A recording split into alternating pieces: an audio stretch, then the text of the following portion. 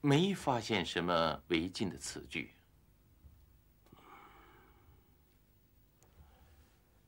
坐。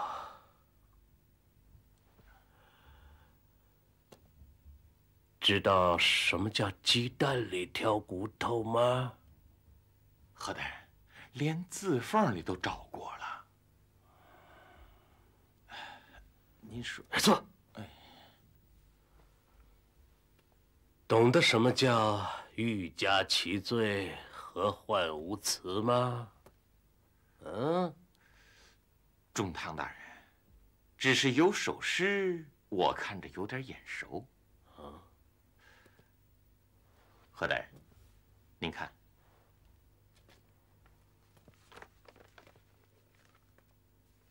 啊，在这儿。何大人，就这首。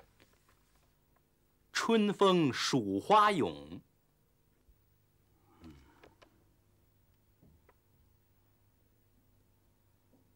坐。哎，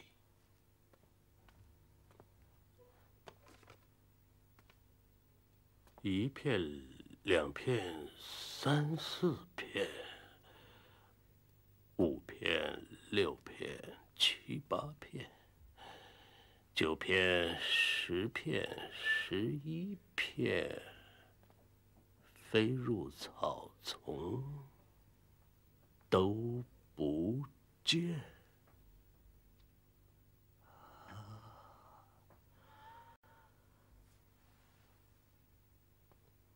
你读过太上皇的御制诗吗？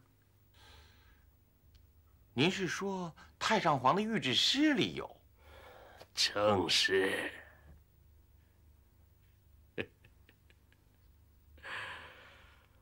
我记得清清楚楚啊。这首诗乃太上皇所作，就收在他老人家的御制诗里。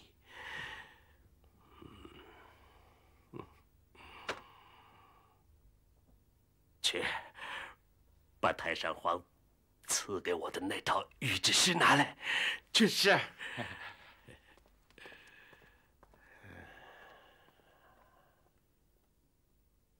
老爷，这就是您的不对了。太上皇是天子，老天爷的儿子呀，您能跟人家下棋呀？下棋也成，能输不能赢啊？嘿嘿，您赢了。千不该万不该的，您不能跟太上皇洗澡啊！您以为这人脱了衣服都一样啊？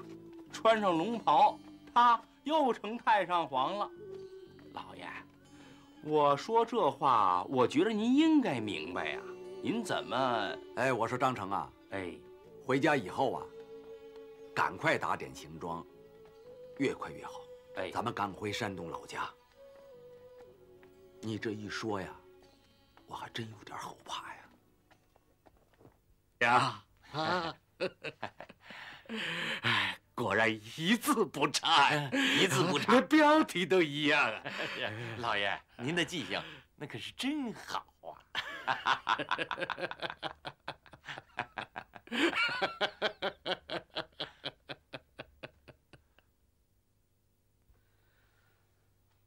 诸位爱卿。朕的御制诗第五集已经印出来了。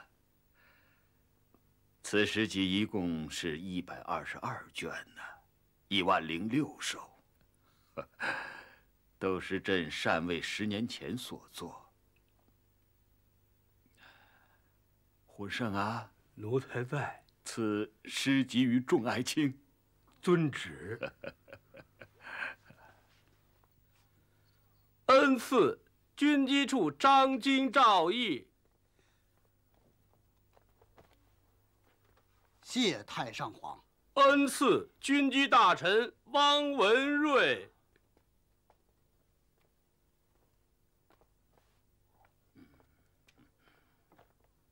恩赐文华殿大学士吏部户部总管和珅，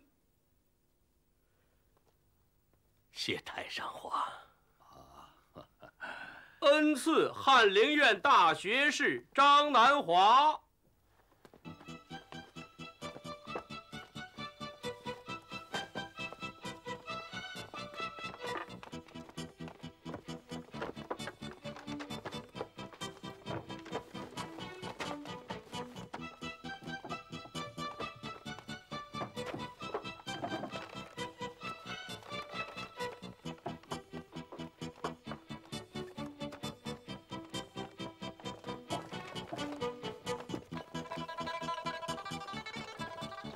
来，往这边点，再往这边点。哎，你们那几个快点，快点。哎，把那个，过来。对，搁这，搁这那个。啊，好。哎，往这边。你们，哎，过来，过来。箱子搁这，搁这。哎，对，哎，好。哎，我说刘安呐，哎，老爷爷可关照了，他呀骑驴，燕翠夫人呐有孕了，她得来顶软轿子。那大夫人呢？你怎么那么糊涂啊？啊，大夫人走了，王爷谁伺候啊？老爷子也是一会儿清醒一会儿糊涂的，真是累死活人呢。你瞧，你怎么那么多废话呀？大夫人说了。回山东老家指不定景儿呢，让咱们先走，把老爷子伺候好了。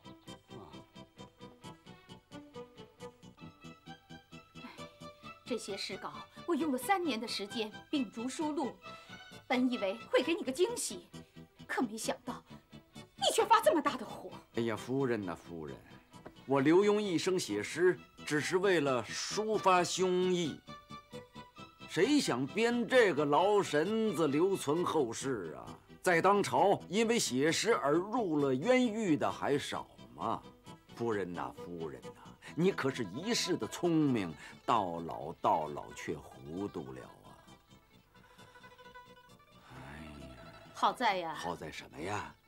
一本都没有送出去，都在这箱子里头呢。那就好，叫张成、刘安把这些诗集。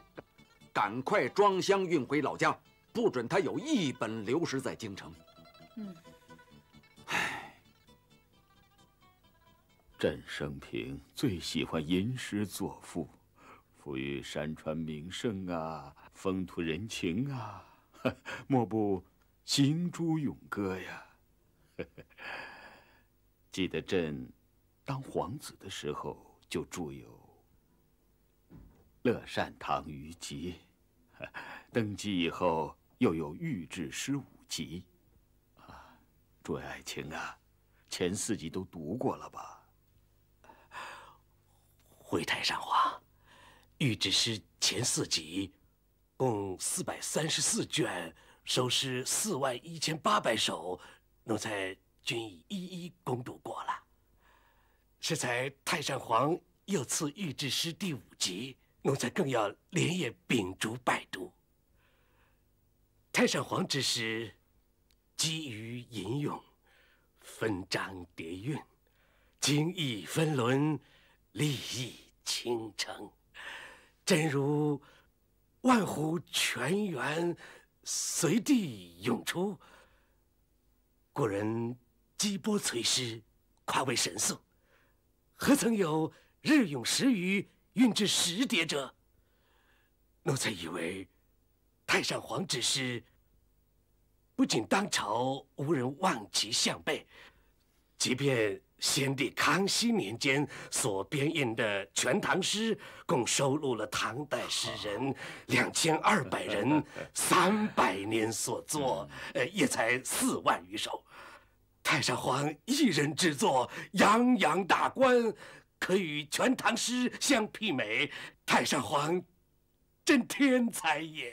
哦啊，太上皇之诗，今生玉振，涵盖古今呐，神龙行空，瞬息万里呀。太上皇，奴才有一事不明，不知道该问不该问。嗯，说吧。谢太上皇。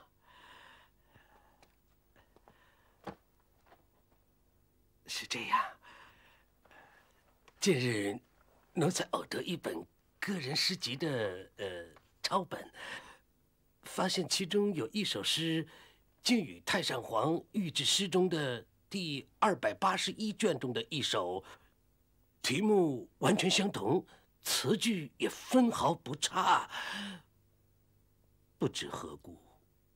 有这种事儿？是啊。拿来。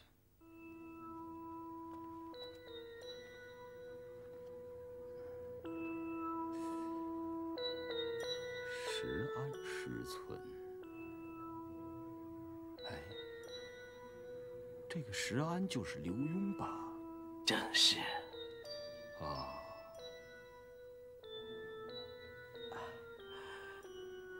看，您看这一手。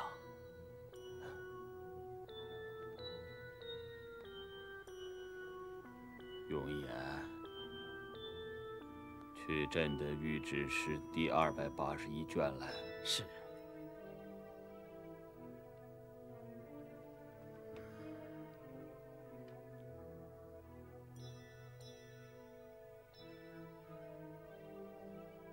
一片、两片、三四片、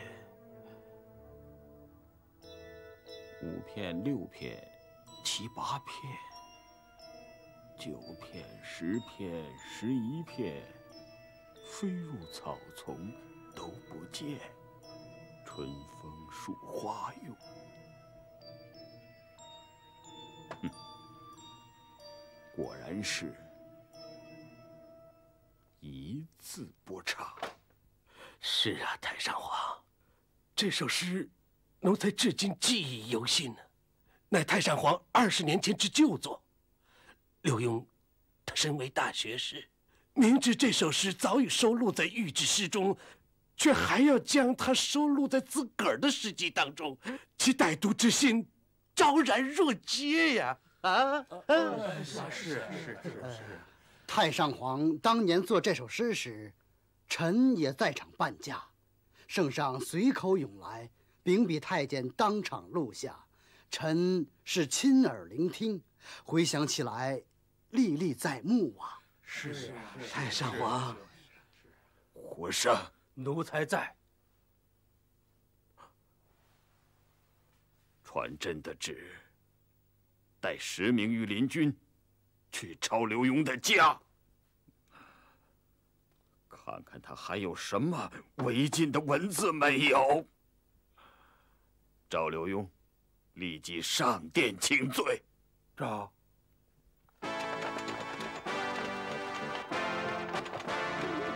你别问你。上。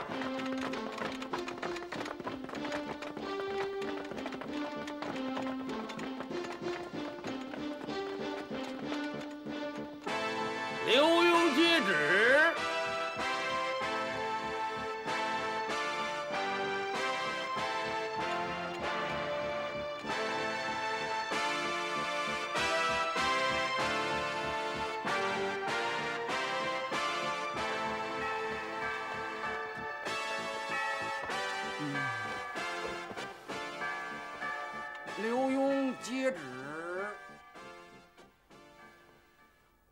奉天承运，皇帝诏曰：刘墉一贯蔑视圣上，羞辱朝廷，续将御制诗中圣上御笔窃为己有，自成诗集，贪天之功，昭然若揭。令御林军抄没所有石安诗存，查抄刘宅一应书记文字。刘墉接旨后。立即带罪进殿面君，不得延误。钦此。刘墉谢主隆恩。胡公公，抄录刊印石安诗存是小女所为，老爷他并不知道。若论罪，是小女的罪，请胡公公代为禀明圣上。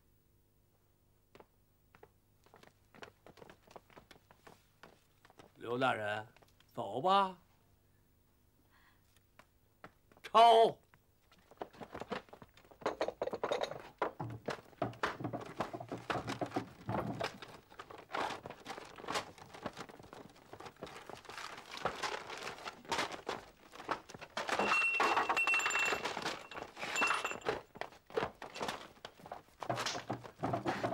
没事没事我跟黄公不进宫。呃张成、刘安呐，哎，看着咱们的东西，看着咱的东西啊！老爷您放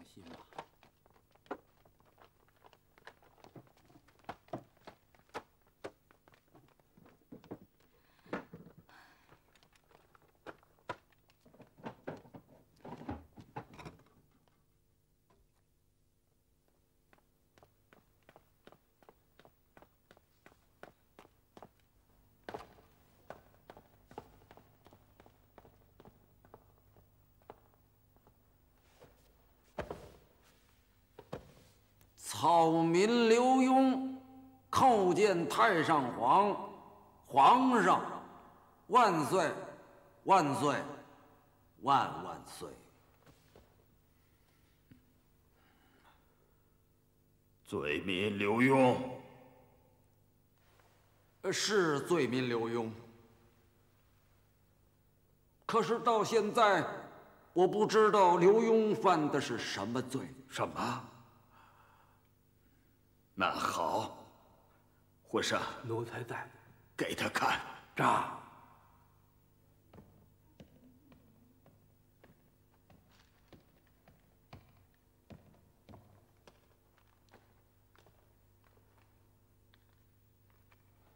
刘大人，啊？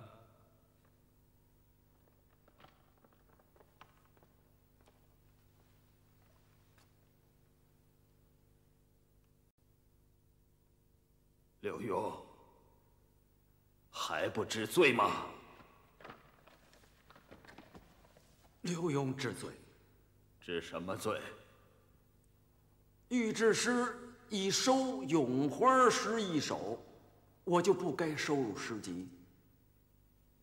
我本不该刊印什么诗安、诗集，不该。哼。不该你还是做了？难道真与一般文人为了一首诗去争巧吗？这，这什么呀，刘墉？嗯，我问问你，这首《春风蜀花咏》到底是太上皇所作，还是你刘墉写的呀？太上皇三句，刘墉一句。不对吧？嗯，当时在场的可有好多人呐！啊啊！是，臣那天也半驾随行，当时太上皇掐了朵花，随口涌来。当时臣还以为太上皇在数花瓣呢，可是念到第二句的时候，汪赤郎说太上皇好诗，当时群臣都激动了。念到第四句，太上皇喃喃低吟这画龙点睛之句时，群臣都一片欢腾了。这第四句当时大家伙都没有听见。可是刘墉呢，离太上皇最近，他把第四句呢又重复了一遍。实际四句都是太上皇的御口，刘墉只不过是鹦鹉学舌而已呀。可不是刘墉，是这样吗？嗯，我回到家里，越想越觉得可笑，啊，不是有趣。我就把它抄在了一张纸上。这四句诗，前三句都是在数数，这后来一句实在是有点像打油诗的样子。打油诗？刘墉，朕的咏花诗跟这打油诗有什么相干呢？启禀太上皇，这打油诗是一种村歌礼调。臣在乡下的时候，邻居就是一座油坊，有几个伙计一边打油一边喊着号子，呃，是这样：一二三呐，多打油啊！四五六啊，好打油！好了，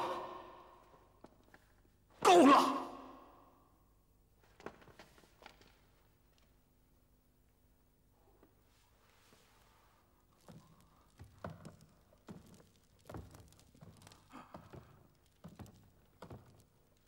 刘墉，刘墉，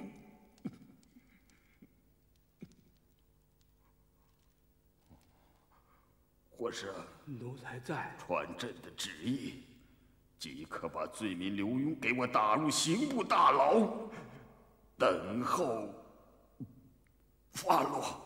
这。